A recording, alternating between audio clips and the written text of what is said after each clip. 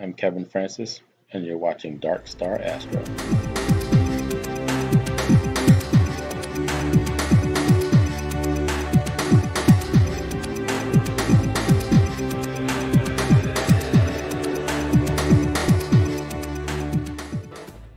Hello, I'm Kevin Francis, and welcome to my YouTube channel. What you saw earlier was a project that I took on to use a USB camera with a 3D printed mount as a polar alignment camera. This was a fun project, and if you stick around, I think you'll like what I did. Okay, so let's start with a quick view of the mount itself so you understand what I'm working on. So this is the Orion AstroView mount, and if I zoom in here a little bit, see what we're talking about here. So there's a shaft, all right, that holds the counterweights, and that goes all the way up into this uh, part of the mount. And here is where I'm going to design an, a holder to install this camera that I'm looking to purchase. So um, this is what I'm working with, right? I didn't buy the, the mount that uh, most people buy that are uh, automated and can uh, do a lot of the things that you want automatically. And I'm just wanted to get started and see how I can do with this hobby and see what other things I can do to make this hobby better for myself. I did add a motor to it, so I've got the right ascension uh, tracking with this mount as well for my photos. Okay, so let's focus. This is the project. We're going to work on that there. And so first thing I needed to do was find a camera. So I went to Amazon. And as you can see, there are a ton of different types of cameras that you can buy. But I was looking for something that I can design around. Um, all of these can find stars at night with the right settings. But I, I need something that's simple um, enough for me to design around. And what I came across was this camera right here. It's $58. It's got a nice square body the, on the rear. Um, it's got a wire that hangs off the back. You can see here these the dimensions for it as well.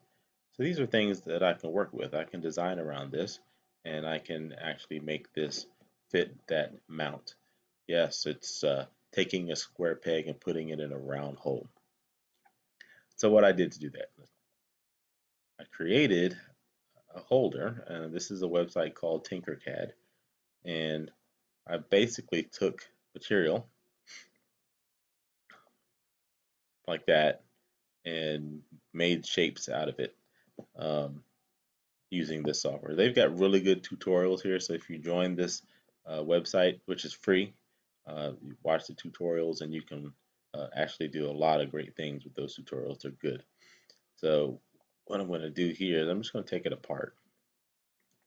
This is a copy, so I'm going to fully take this apart and show you all the, the number of different pieces that I had to put together uh, in order to make this shape.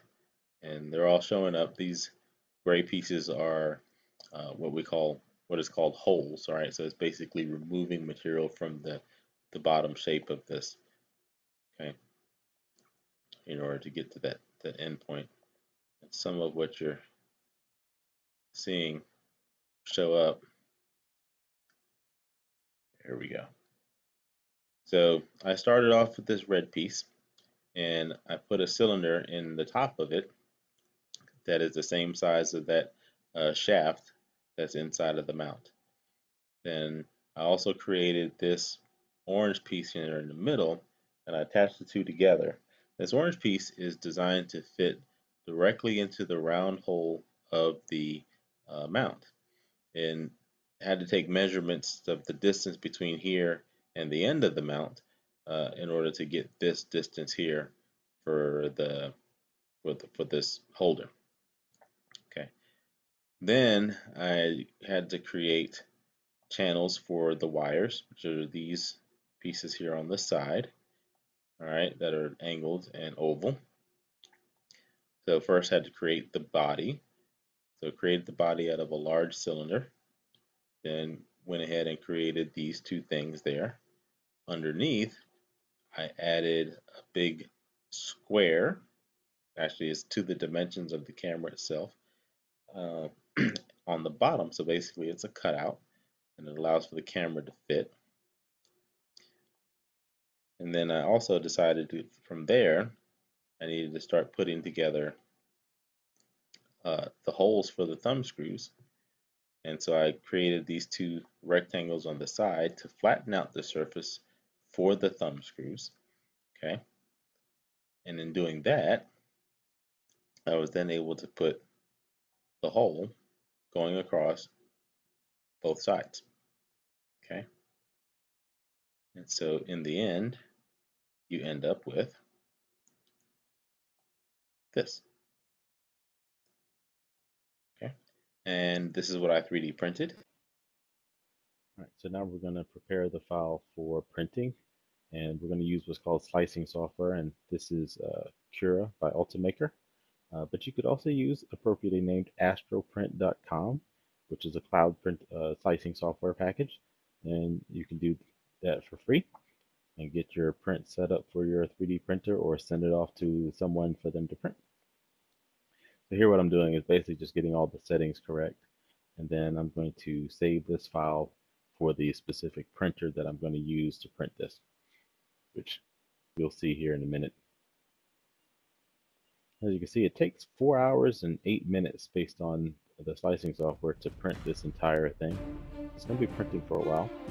So we'll set it, let it go, and we'll test it out later.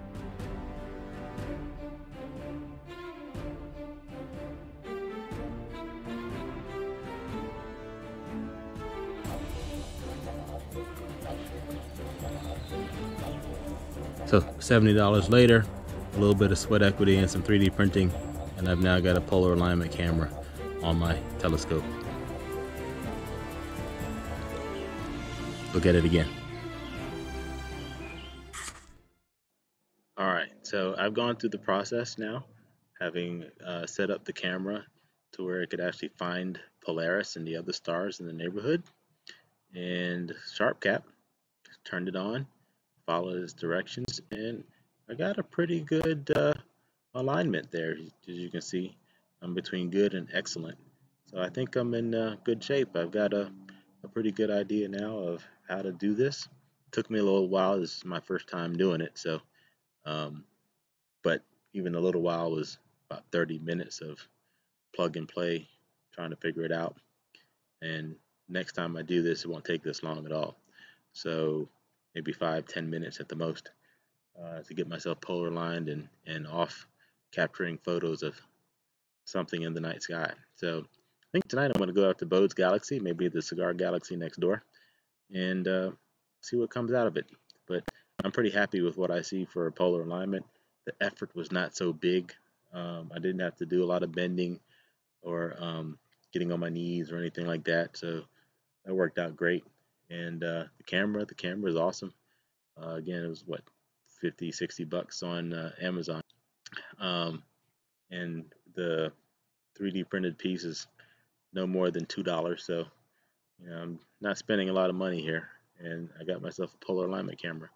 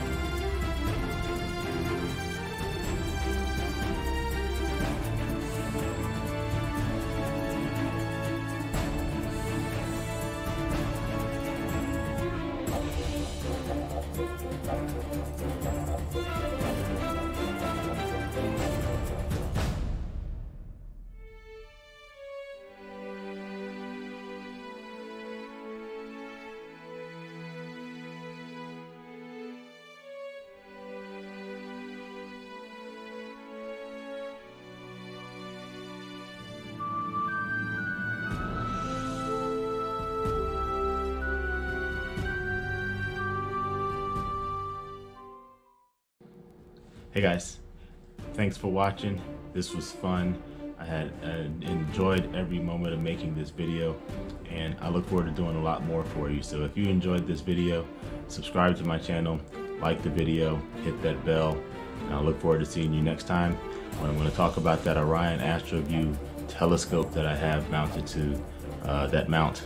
Um, they didn't design it or develop it for astrophotography, but I made it work. We'll talk about how I did that in the next video.